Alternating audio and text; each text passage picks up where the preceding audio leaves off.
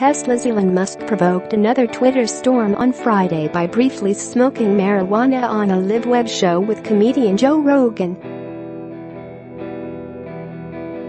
Musk, 47, spent two and a half hours on a podcast late Thursday discussing everything from artificial intelligence and its impact on humankind to flamethrowers and social media. Taking a puff from a joint, which Rogan said was a blend of tobacco and marijuana and legal in California, Musk said he almost never smoked. I'm not a regular smoker of weed, Musk said. I don't actually notice any effect, I don't find that it is very good for productivity. Tesla was not immediately available for comment, but investors weren't apparently giddy over the Musk toke.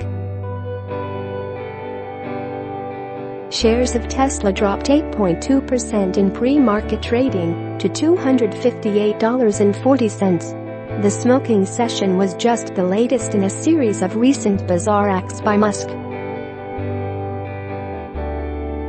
Musk stunned investors are month back with tweets saying he had funding to take the company private for $420 per share.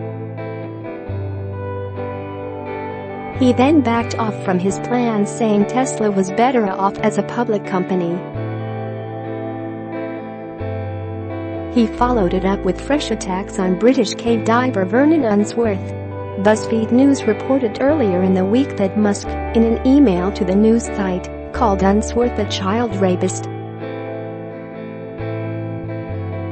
See also Elon Musk sued by investors over proposal to take Tesla private Tesla Incorporated and chief executive Elon Musk were sued twice. Neither Tesla nor Musk have commented on the BuzzFeed report. Musk apologized to Unsworth in July for similar insults he made on Twitter following the rescue of a dozen Thai schoolboys and their football coach from a cave in Thailand. The billionaire's behavior has raised concerns about his leadership, and several Wall Street analysts have called for the company to appoint a strong no. 2. To prop up Tesla's operations and standing with investors.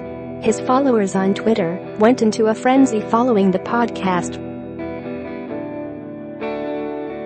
Several followers questioned if it was against the company's policy while others mocked the CEO's initial 400